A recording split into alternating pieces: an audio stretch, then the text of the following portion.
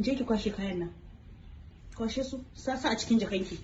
Ai daga ciki kika zo da su ko? Daga ciki suka fito. Kwanan ki nawa kika zo kika kwashe min kayan nan? Mayar da su ciki.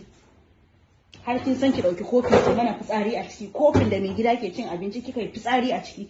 Saka sa a ciki. Saka su. In muka je police station kai musu bayani. Kai musu bayani. Ai ba karamar yarinya na ɗauka ba yau da karamar yarinya ne sai in ce yaranta ne. Ko ƙaramin yaro ya san cewa bai kamata. Ba zan ni kin taimake ni? Ba zan yi ba. Ba zan yi ba. Idan kukan jini fa zaki sai kin kwashe kayan nan mun je. Ki kwashe ki wuce mu tafi. Ko in kira sojojin ne su kwashe miki su sa ki. Abi!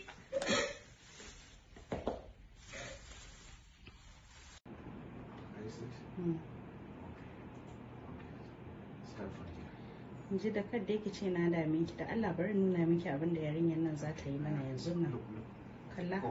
Cup din mu ta ɗauka ta yi fitsari a ciki. Kin gani? Kin gani?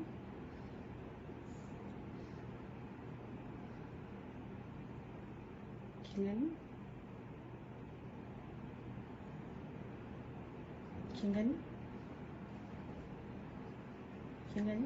Yi tsarki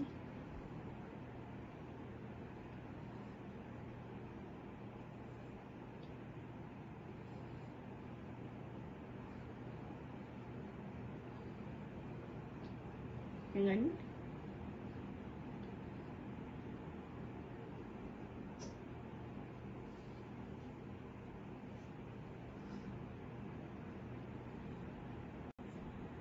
maɗakin ta akwai toilet a ciki.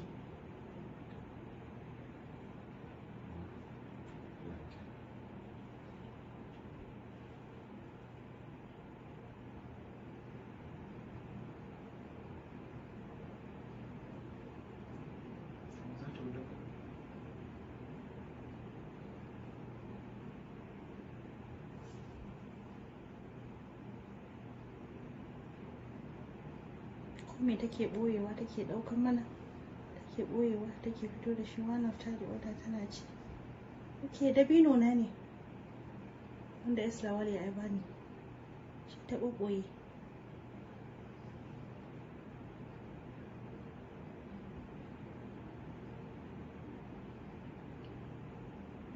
Thank